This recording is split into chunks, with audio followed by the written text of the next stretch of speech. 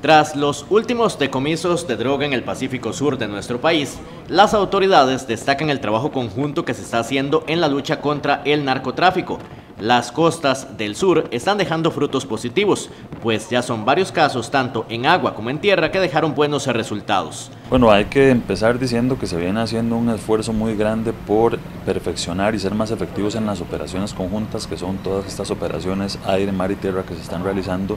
contra el tráfico internacional de estupefacientes, donde estamos viendo cómo nuestras eh, fronteras, nuestras costas eh, se están utilizando para ese trasiego internacional, especialmente de cocaína, aunque hemos visto también ya aparecer unas nuevas sustancias o nueva, como parte de estas nuevas rutas que está utilizando el narcotráfico para llegar a todo el continente. Lo extenso de la región y muchos sectores de difícil acceso, que son aprovechados por la delincuencia, hacen de la zona sur un punto muy aprovechable, por lo cual el trabajo tiene que ser minucioso por parte de las autoridades. En este caso teníamos la alerta de una embarcación a la cual el guardacostas estuvo dándole seguimiento durante todo el día con apoyo del Servicio de Vigilancia Aérea, sin embargo pues la dificultad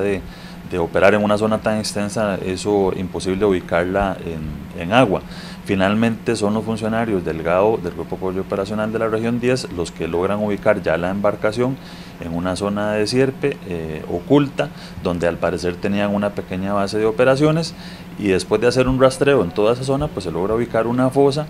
el elemento que destacan es el trabajo conjunto para lograr los resultados que se quieren. Es importante hacer notar que en esta operación, eh, como lo dije antes, se trata de una operación conjunta donde se involucró al Servicio Nacional de Guardacostas, el Servicio de Vigilancia Aérea y la respuesta en tierra siempre la está dando Fuerza Pública con apoyo de la Policía de Fronteras. La labor continúa a lo largo de toda la zona sur, donde este año ya dieron varios golpes muy importantes.